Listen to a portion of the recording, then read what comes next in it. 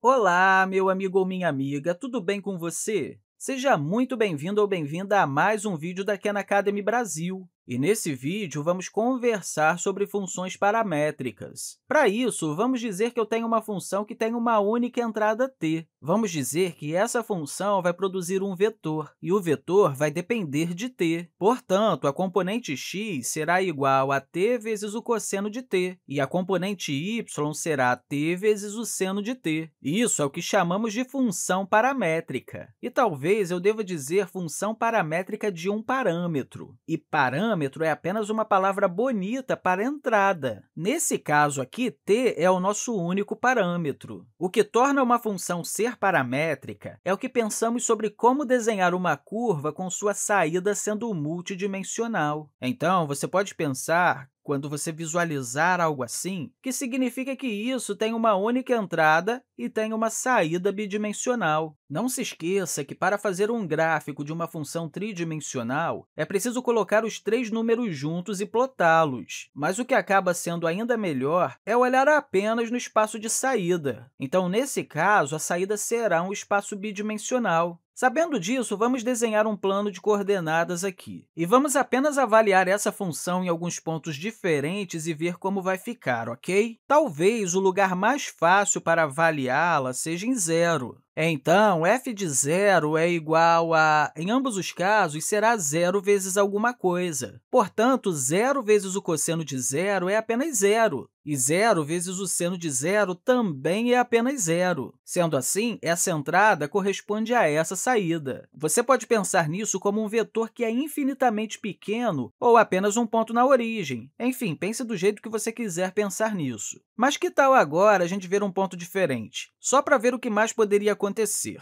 Eu vou escolher aqui π sobre 2. Claro, o motivo de escolher π sobre 2 é porque eu sei como tirar o seno e o cosseno disso. Então, vamos fazer isso aqui. t é π sobre 2, certo? Então, temos aqui π sobre 2 vezes o cosseno de π sobre 2. E aqui temos π sobre 2 vezes o seno de π sobre 2. Ok, qual é o cosseno de π sobre 2 e qual é o seno de π sobre 2? Para pensar nisso, talvez seja legal aqui desenhar um pequeno círculo unitário. Ao fazer isso, a gente vem aqui e marca π sobre 2 que é igual a 1 quarto aqui da circunferência. O cosseno de π sobre 2 está medindo a componente x disso, então isso aqui acaba sendo zero. E o seno de π sobre 2 é a componente y disso, então isso aqui acaba sendo igual a 1. Isso significa que o vetor como um todo vai ser zero para a componente x e π sobre 2 para a componente y. E como isso seria? A componente y é π sobre 2, que é cerca de 1,7, e não há componente x.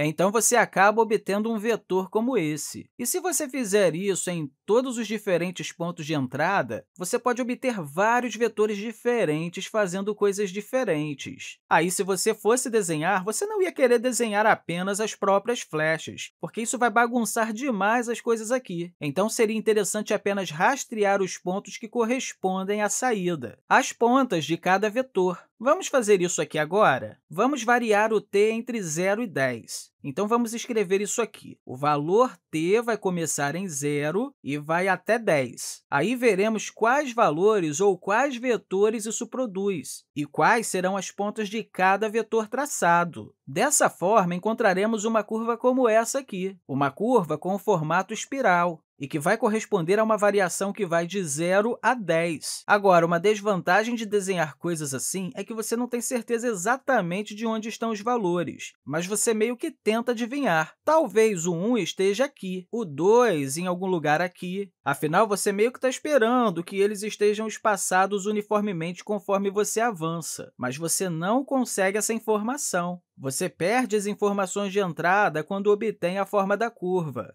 Sendo assim, se você apenas quiser uma forma analítica de descrever curvas, você encontra alguma função paramétrica que faça isso, porque assim você acaba não se preocupando com diversas coisas, como, por exemplo, a taxa de variação. Mas apenas para mostrar onde isso pode importar, eu vou te mostrar uma função que desenha a mesma curva. Só que essa função começa a andar muito rápido, e aí depois ela fica mais lenta conforme você avança. Sendo assim, essa função não é bem t cosseno t, t seno t que eu coloquei aqui inicialmente. De fato, isso aqui significaria que... Bem, vamos apagar esses caras aqui. Quando começa rápido assim, você pode interpretar dizendo, ok, talvez o 1 esteja aqui e talvez o 2 possa estar aqui. Talvez o 3 esteja aqui, já que ainda está indo relativamente rápido. Aí, talvez perto do fim, esteja indo muito devagar. Por isso, talvez a gente tenha o 7 aqui, o 8 aqui, e aí vai ficando cada vez mais lento até chegar ao 10. Ou seja, você pode ter duas funções diferentes desenhando a mesma curva. E a palavra bonita aqui para isso é parametrizar. Assim, as funções parametrizarão uma curva. E quando você desenha a função apenas no espaço de saída, você obtém uma curva como essa. No próximo vídeo, vou te mostrar como você pode ter funções com uma entrada bidimensional e uma saída tridimensional, e aí desenhar as superfícies no espaço tridimensional. Eu espero que você tenha compreendido tudo direitinho que vimos aqui e, mais uma vez, eu quero deixar para você um grande abraço e até a próxima!